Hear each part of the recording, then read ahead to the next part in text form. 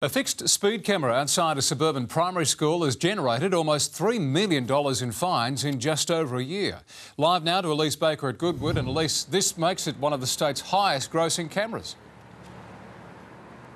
Yeah, that's right, Brent. And the camera behind me here at the Goodwood Primary School pedestrian crossing generated the third highest number of traffic fines in the past financial year. It was switched on in May last year, two years after the speed limit was dropped from 60 kilometres an hour to 50 kilometres an hour. While, while no doubt it's caused some headaches for the almost 9,000 motorists caught here doing the wrong thing, parents we spoke with at the primary school today say it's an important safety tool. I definitely think it's a good idea, of course, you know, with the kids being at school there and gets a bit hairy here sometimes. I use this maybe six times a day and I see maybe five times a week I see somebody driving straight through.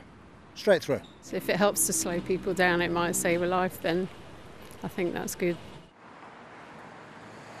The two fixed cameras on the southeastern freeway are the highest earners. The Leawood Gardens camera raking in almost $8 million. The one at Crafers more than 4 million. Goodwood Road Snapper sits third, Montague Road at Ingle Farm, and the camera at the level crossing on Woodville Road rounding out the top five. And the advice from authorities for those who want to avoid one of those hefty fines in the mail is to simply slow down.